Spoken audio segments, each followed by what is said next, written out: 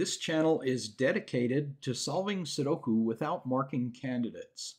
I don't take any notes while solving them. In fact, I use a pen. You can learn patterns and techniques to solve puzzles without candidates at sudokuprimer.com. Find lots of other Sudoku information out there too, like Sudoku myths and Sudoku history. This is puzzle number 97 from Sudoku to Go, volume 145. How did I solve this puzzle? Well, when I got stuck and couldn't find another number, I had to use three different techniques. A unique and subtle thing about triplets, together with some twins and double column elimination. And that gave me the clues needed to find the next number. I'll let you know when I get to that point so that you can pause the video if you'd like to challenge yourself and see if you can find it. But first, let's uh, put in easy numbers, fours,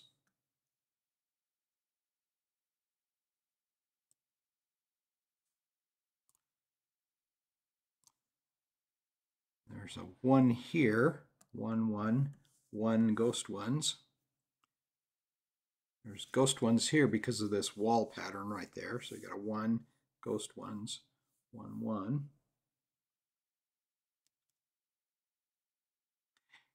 And right off the bat, we've got, with this wall pattern again, we got a 3 here, ghost threes, a 4 here, and 4 here.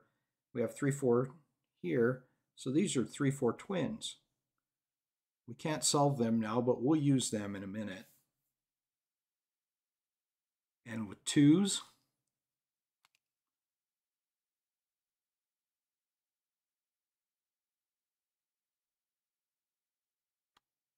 and we've got a wall pattern here and a three here, ghost threes there and a three there, so that's a three. All right, we got an eight here um, and an 8 here, so ghost 8's there. 8, ghost 8's, that makes that an 8. Then we've got a, a wall pattern here with a 9 here, ghost 9's there, and 9 there, so that's makes that a 9. And we've got a 9 there. Let's look at this column here. We're missing 1, 6, 7, 1, 6, and 7. Got a 6 and a 7 there, so that's a 1.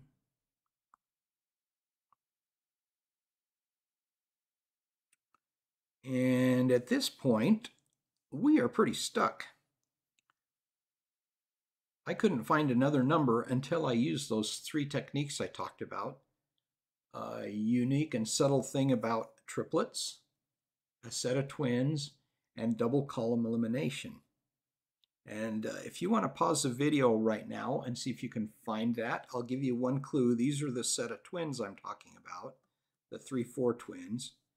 But I found a set of triplets and used a unique thing about triplets and then double column elimination to find the next number. So go ahead and pause the video, otherwise I'll just continue. Well, the triplets are in this row right here. They're a little harder to see because we only got two numbers so far. But let's see what's missing in this cell right here. Remember we have 3, 4 twins here, so we have 1, 2, 3, 4, 5, 6, 7, 8, 9. So 2, 5, 6. Here we're missing 5 and 6 in this column, so that's 5, 6. And let's look at this cell right here. 2, 6, 2 and 6. 2, 5, 6, 5, 6, 2, 6. So there are the triplets that I found. We can't solve those, but one unique, interesting thing about these triplets, if you look at this box with just the 3, 4 twins, the 5 can either go here, here, here, or here. But with the triplets, 2, 5, 6 triplets here, we know that's a 2 or a 6. So the 5 is constrained to one of these two cells. All right, So those are the triplets I'm talking about. And the unique thing about the triplets is the 5 has to be here or here. It can't be here or here. So now let's use double column elimination. We've got 5 here, 5 here. So one of these is a 5.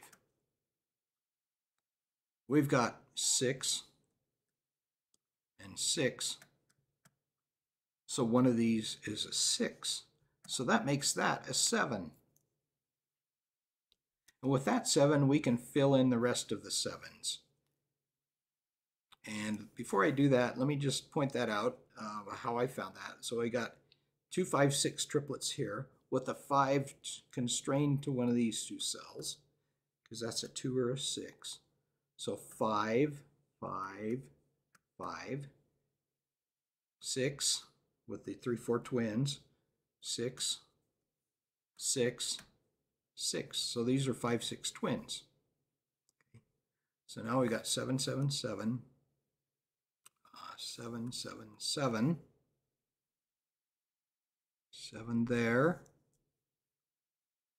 7 there, and I think we've got them all now. No, we got one more here. 7 there. All right, now, um, see.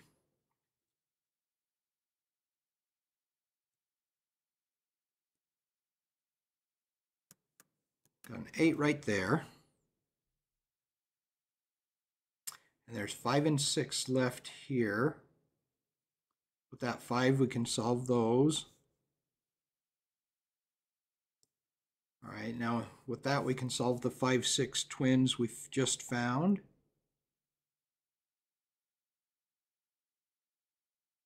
And now we have 3 and 6 missing in this row. We can solve those. We have 4, 5 here. We can't solve those yet. 9, 9, 9. So that's a 9.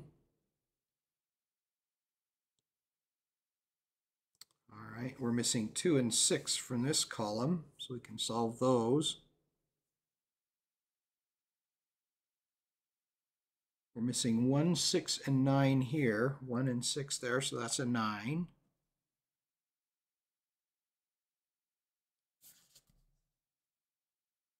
And then we've got 999. So that's a 9 right there.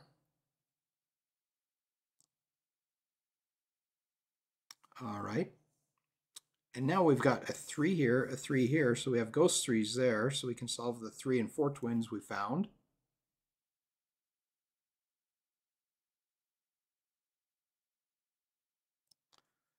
And we got 4, 4, 4. And we got a 4 here, 4 here, so that's a 4. This 4 allows us to solve the 4, 5 twins we have here. And with this 5, we know this is a 5 because the 5s are constrained to, to row 7 here. Ghost 5s, 5, 5, and there's 5 there. So we can fill that 5 in. All right. And with that 5, we can put in a 2 there and a 2 there. All right, we only got one number missing here. 3.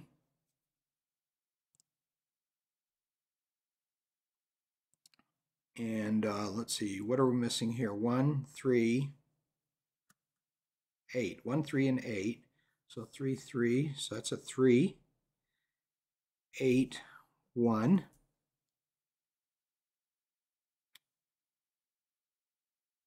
All right, now we've got an 8 missing there. And 5 and 6 missing here.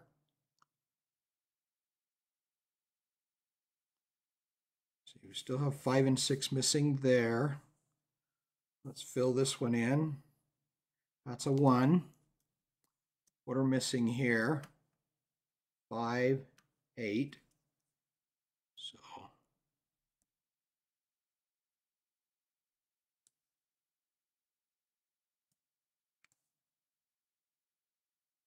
right, let's see. One and six missing there. That's a one.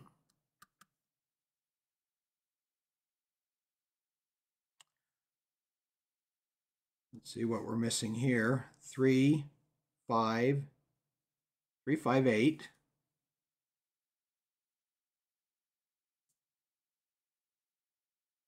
Okay, we got a five, six there. We can fill those in.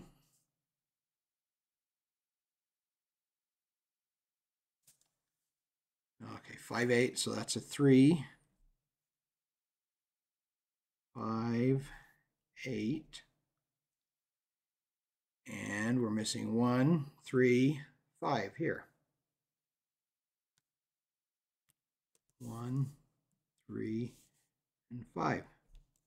And that's it. And we're done.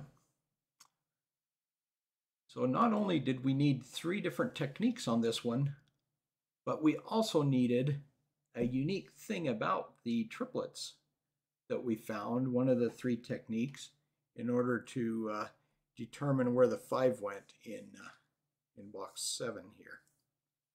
So this one was fairly tricky, but uh, we were able to get it. I hope you're able to um, uh, figure it out yourself. and let me know in the comments whether you were able to find that yourself. Well, thank you for watching, and I'll see you on the next video.